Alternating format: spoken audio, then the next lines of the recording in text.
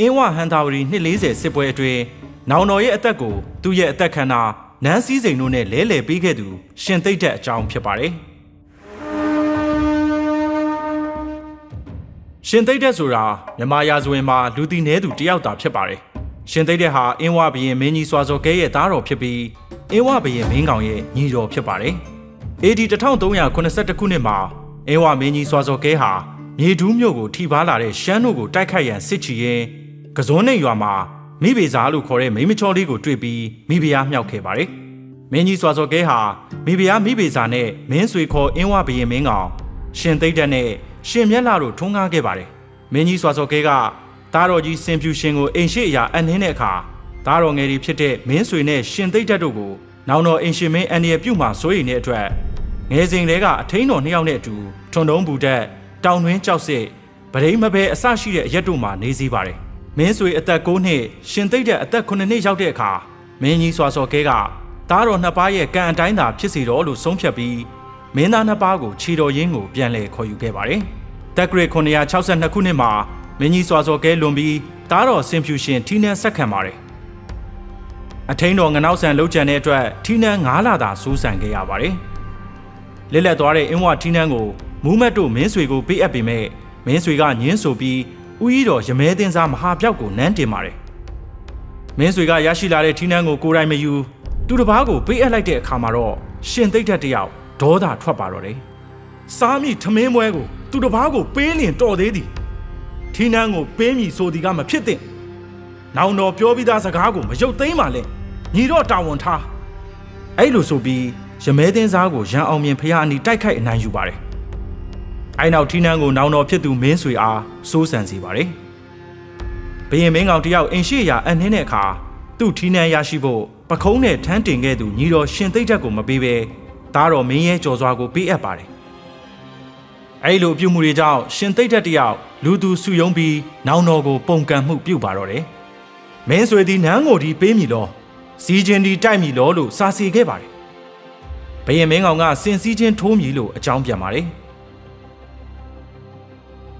အိုင်နောက်စင်ကဲကိုခေါ်ယူပြီးရှင်သိမ့်တဲ့စီးတဲ့စင်တော်တန်လင်းစွာကိုနိုင်တဲ့စင်ကိုမေးမြန်းပါတယ်။စင်ကဲကဟိုင်းနီလာဆိုတဲ့စင်ကတန်လင်းစွာကိုငယ်နိုင်ဖြစ်တယ်လို့ဆိုပါတယ်။စီးချင်းထိုးတဲ့နေ့ရောက်တဲ့အခါစင်တော်တန်လင်းစွာကဟိုင်းနီလာကိုမျက်နှာချင်းမဆိုင်ဝန်းတဲ့အတွက်ဥလဲပြေးပါတယ်။ဘရင်မင်းကောင်လိုက်လံဖမ်းဆီးတဲ့အတွက်ရှင်သိမ့်တဲ့ကိုရပြီးထောင်သွင်းအကျဉ်းချခဲ့ပါတယ်။။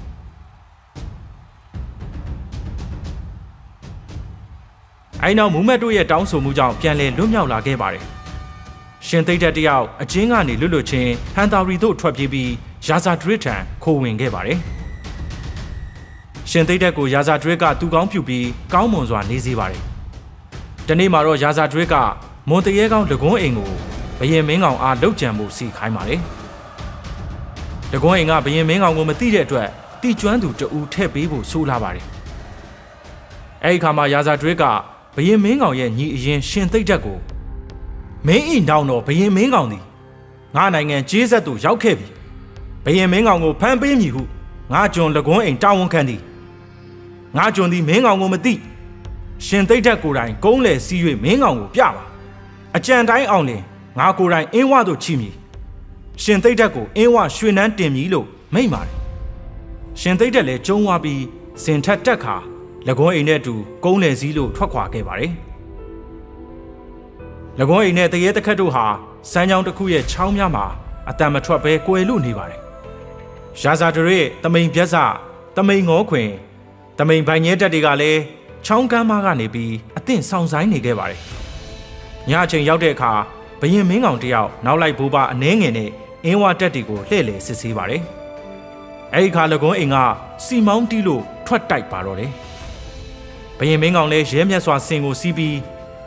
နင့်ကိုငါတိုက်ပြီနင့်ကိုငါသာလိုဤလို့ဟစ်ဆိုပြီးတကွန်းအိမ်ရှိရာကိုချုံးဖွင့်ကတိုက်ပါတော့တယ်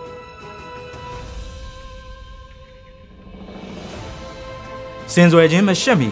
ရှင်သိတဲ့တယောက်ငငယ်တဲကဒုက္ခမျိုးစုံအတူဖြတ်တန်းခဲ့ကြတဲ့နောင်တော်ကိုစိုးရိမ်ပူပန်မိပါပြီ။နောင်တော်အသက်အန္တရာယ်ကြားရောက်တော့မှာကိုသိမြင်နေတဲ့ရှင်သိတဲ့တယောက်ရုတ်တရက်စင်ကုန်းလေကနေထပြီး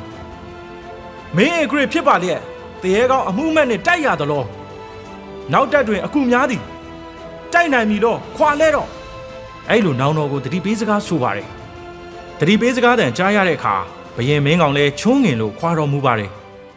ဘယင်မင်းကောင်နောက်ကိုလကွန်းအိမ်ကထီးပြူကိုမှတ်ပြီးလိုက်လံတိုက်ခိုက်ပါတယ်ရှင်သိဒ္ဓကအင်းဝတွင်အဝတ်ဖြူရှားသလောအဲ့လိုနောင်တော်ကိုထပ်မံတတိပေးပြန်ပါတယ်အဲ့ဒီအခါဘယင်မင်းကောင်ကထီးပြူကိုချပြီး အင်းဝစင်တက်အတွင်းဝင်ရောက်လိုက်တဲ့အခါလကွန်းအိမ်လည်းလိုက်လံမတိုက်ခိုက်နိုင်တော့တဲ့အတွက်ပြန်လဲဆုတ်ခွာခဲ့ရပါတယ်ရှင်သိတဲ့ကြောင့်ဘရင်မင်းကောင်လွတ်မြောက်ကြောင်းရာဇာဒရစ်သိတဲ့အခါအင်းဝနန်းစည်းစိမ်ကိုငါအကုန်ပေးမိဟုမင်းတို့ကိုပြောထားလက်ပတော့ကြောင့်ဒီတို့ပြုရသည်နီလို့မေးမြန်းပါတယ်အဲ့ခါမှာရှင်သိတဲ့ကညီရင်အကိုဖြစ်ကြ၍ပျက်စီးမှုကိုမြင်သဖြင့်ကျွန်ုပ်ဟစ်၍တတိပေးမိပါသည် ဘယင်မင်းကောင်သည်ကျွန်ုပ်ဤနောင်တော်ရင်းဖြစ်သည်ကျွန်ုပ်သည်ဖုံးစည်းစိမ်ရရန်အတွက်ပကိုးမှာတုကြုံခန်းသည်နောင်တော်ရင်းကိုမချစ်နောင်တော်ကိုတိုက်၍မင်းပြုသည်ဟုအင်းဝသားတွေစိုးစမတ်ပြုမိဆိုသည်နောင်ရဆိုရင်အဆက်ဆက်ပေရွက်တို့၌မြဲနေတော်မူဒီရဲကိုတွေးကြောက်မိသဖြင့်